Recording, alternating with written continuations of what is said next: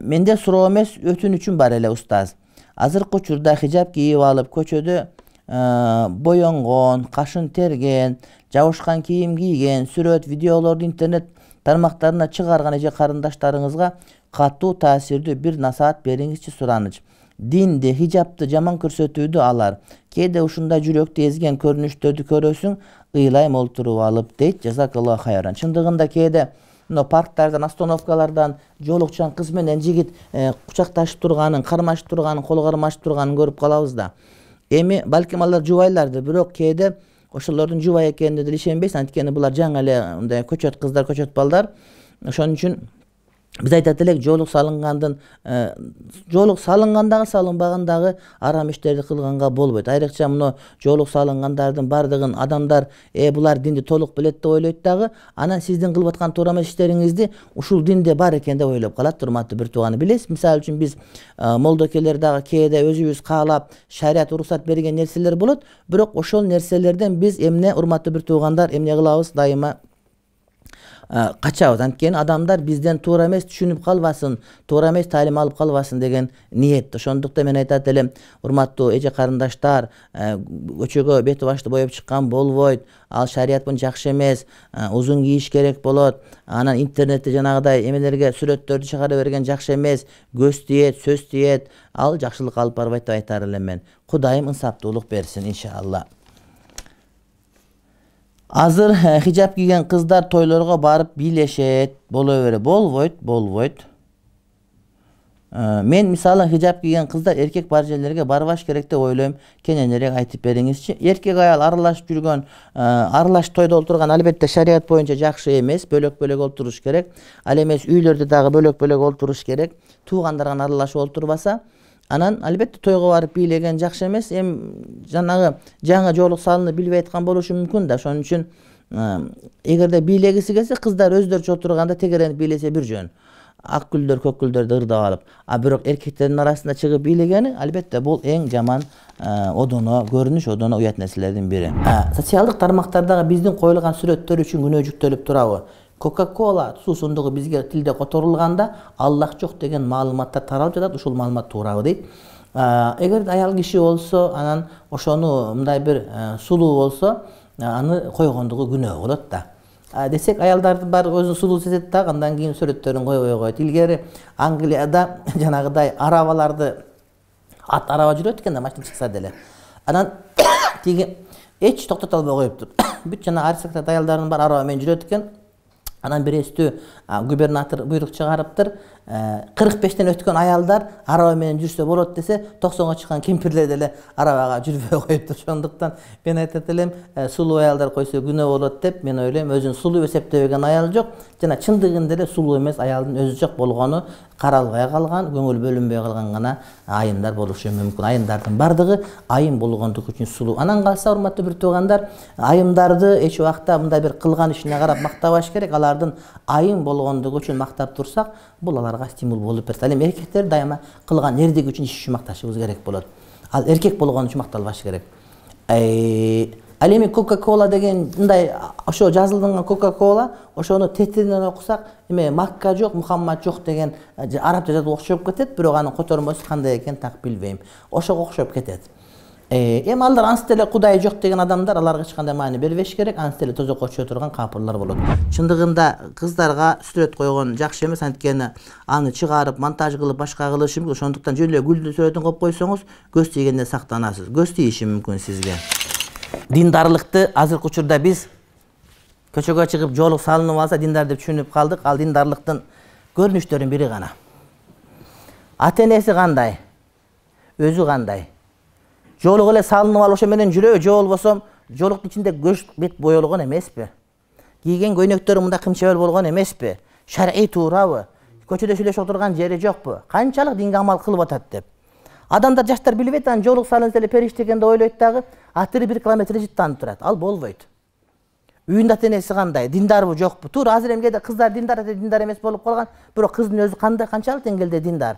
Сабак берген эжелерден башкалардан сурап машвара кылып андан кийин үйлөнүш керек болот да анан көчөдө кээде көрүп калабыз ошондо парктарда көрүп калабыз жигит кыз болуп анан жоолукчан кыздар кучакташып жетелешип алып отургандары бар да.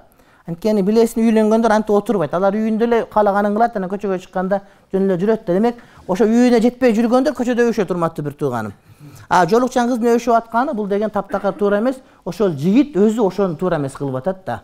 Кыз эми макул эми аялдык кылып мындай бир сенин жытыңа келгенде чыдай албай өбүшүп кетти бирок эркек болуп сен токтоп калышың керек ошонучу эгерде кыз кезинде жоолукчан болуп туруп кыянат кылып сен менен өбүшүп атса демек балдарыңа сен жаман эне тандап атасың деген сөз.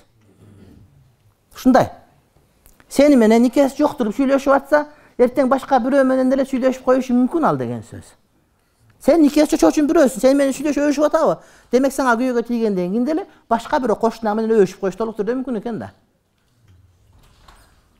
эркектер дагы мына ушундай кыздар менен бейнике жолугушуп анча жетелешип басып жүрсө эртең үйлөнгөндөн кийин деле жүрө бериши мүмкүн анткени азыр деле бул деле арам кийин деле арамды кыла бериши мүмкүн деген сөз келип чыгат ошон үчүн өтө этият болуш керек урматтуу бир тууганым мен жигитим бар сүйлөшүп жүрөм анан кызым бар сүйлөшүп жүрөм анан мен мындай такыбамы бирнеке бирнеке жок ал сүйлөшкөн такыбага кошулбайт азыркы убакта оронуп алып боенуп жана шым кийип алыш мода болуп калды биз доштой аябай көп акыретибиз кандай болот көчөгө боенуп чыккан жакшы эмес или корейскийде гана боенсо бир жөн билинбеген сурма болот анан жанагыдай ичке шим болбойт айттык кене шим кийиш керек тизеге чейин үстүндө кофта болсо хижаб кандай кийиниш керек? Хижаб ар кандай түстө кийсе болобу?